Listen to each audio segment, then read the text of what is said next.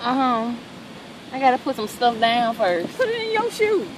Put it on the back of your shoes and take that thing back. It's moving. I caught a starfish.